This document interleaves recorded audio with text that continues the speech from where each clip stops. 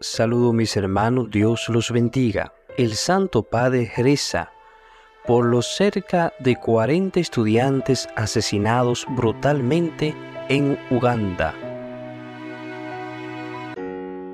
Dale me gusta, recuerda suscribirte y activa la campanita y comparte.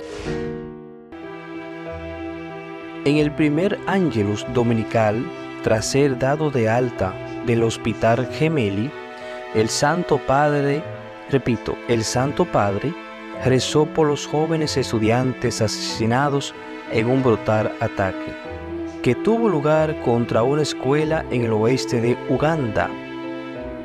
El Santo Padre exhortó a rezar por la paz, pensando en esta lucha, esta guerra en todas partes. El Santo Padre dirigió su pensamiento hacia cerca de 41 víctimas. Entre ellas hay 38 jóvenes estudiantes y tres profesores de la escuela secundaria, ubicada en el distrito ugandés al oeste del país y a dos kilómetros de la frontera con la República Democrática del Congo.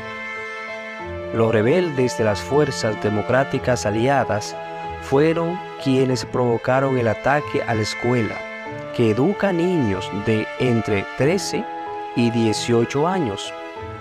Y a última hora del viernes, según informó este sábado 17 de junio la policía ugandesa, los atacantes se habrían dado a la fuga y el ejército los estaría persiguiendo.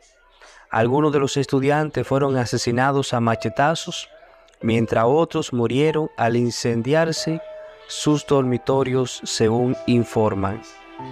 El atentado ha sido condenado en las últimas horas por el secretario general de la ONU, la Unión Africana y la Unión Europea.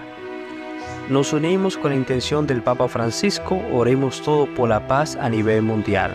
Dios los bendiga.